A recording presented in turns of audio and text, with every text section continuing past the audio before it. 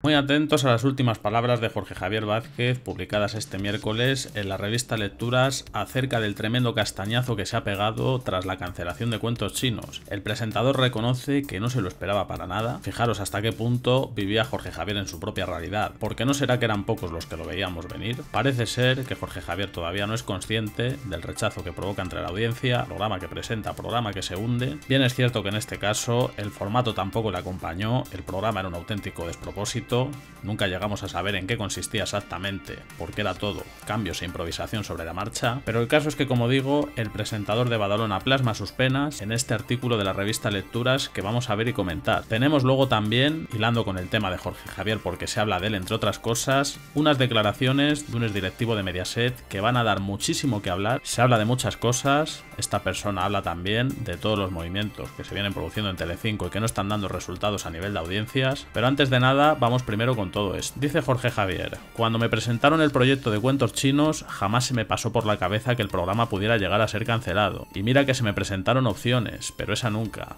Creía sinceramente que podríamos hacernos hueco en una franja muy complicada en la que además Telecinco llevaba muchos años sin apostar. No había costumbre de pasar por la cadena para ver un programa que empezara a las 10 menos 10 de la noche. Pese a todo, estaba convencido de que lo lograríamos. O sea que Jorge Javier estaba convencido de que el programa iba a funcionar, lo cual no es poco teniendo en cuenta que competían contra Hormiguero. Yo creo que a lo mejor un poco más de humildad no hubiese venido mal porque fijaros el tremendo golpe de realidad que se han pegado. Desde que me hablaron de cuentos chinos hasta que se estrenó el primer programa pasaron unos tres meses, tiempo durante el cual transité por muchísimos estados de ánimo.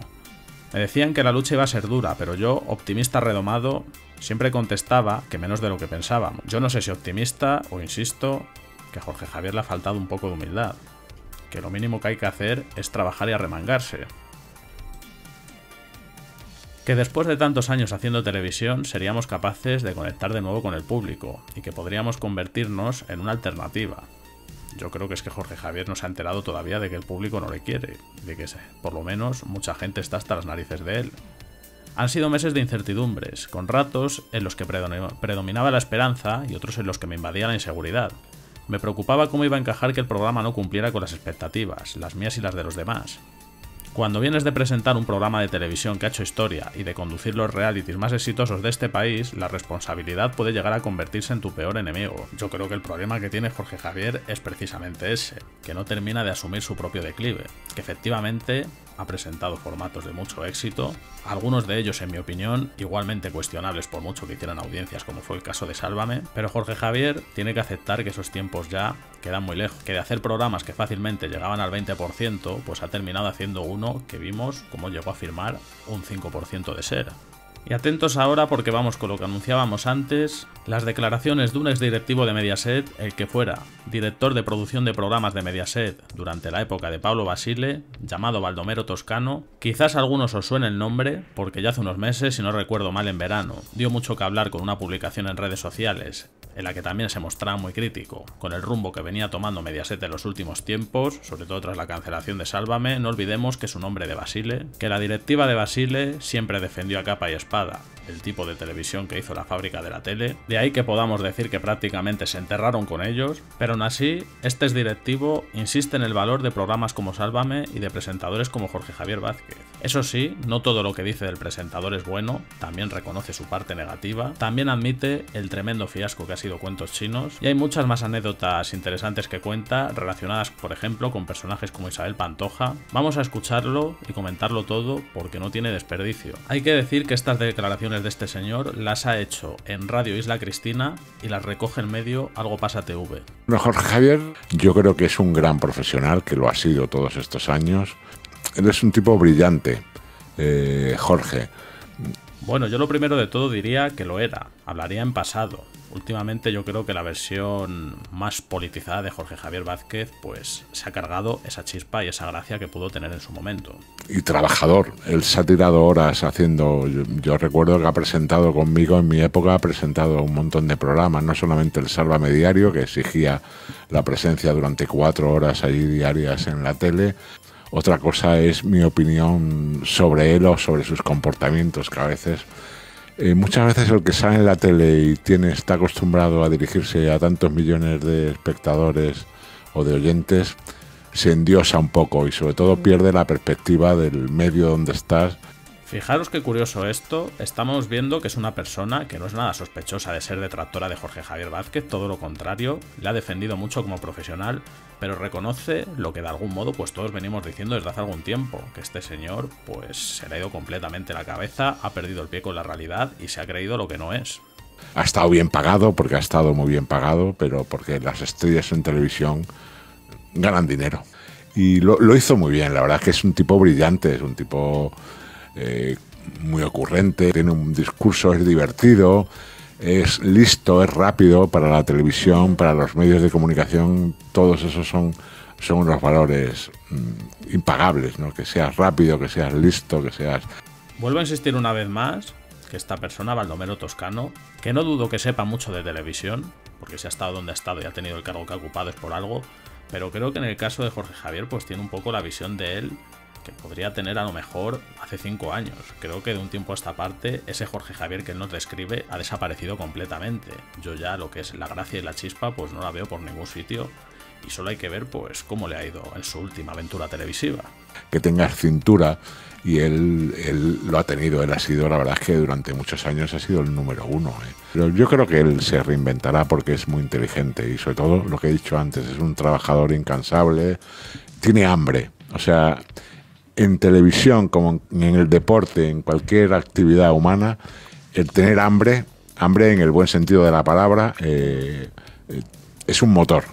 Yo en esto hay cosas que tampoco estoy de acuerdo, no sé hasta qué punto Jorge Javier lo va a tener fácil para reinventarse, teniendo en cuenta que la audiencia ya ha dictado sentencia y le tiene mucho gato, al final va a ser muy difícil que cambie la opinión de la gente a estas alturas y luego eso de que tiene hambre, a mí desde luego, por ejemplo con este último programa de cuentos chinos, no me ha transmitido eso para nada, todo lo contrario, lo que he visto es un presentador que ha transmitido mucha apatía y todo ello por no hablar de esas informaciones que han trascendido, como que en la primera semana ya, viendo las bajas audiencias que había tenido el formato, Jorge Javier ya se quería quitar de en medio.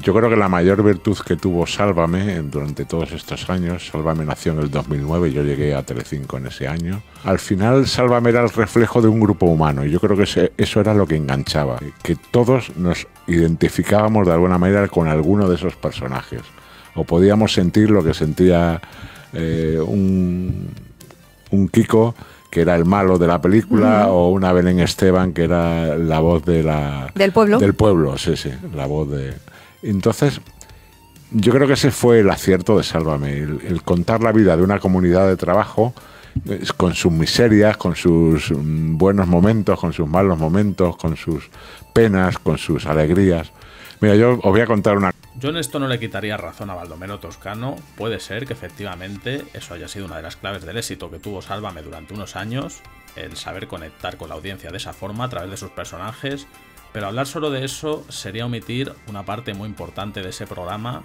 que no sería tan positiva, porque tampoco podemos pasar de puntillas sobre eh, muchas de las tropelías que se han cometido en ese programa, destrozando a cientos de famosos, por no hablar de prácticas delictivas, que recordemos que Mediaset todavía está perdiendo juicios y está pagando indemnizaciones por cosas que sucedieron en Sálvame, y yo creo, y esto ya se veía en las últimas semanas de emisión del programa, que se está cayendo en el error de idealizar un formato que no todo fue bonito precisamente, por no decir que también tiene mucha porquería que esconder. Cosa para que sepáis, el primer, la primera encomienda que recibí yo como director de producción de programas por parte del consejero delegado de Paul Basile fue reunirme con Isabel Pantoja. Me reuní con ella en secreto en Sevilla para animar asperezas, para intentar atraerla a la cadena la traje, pero la traje como se atrae siempre a Isabel Pantoja, con dinero por medio.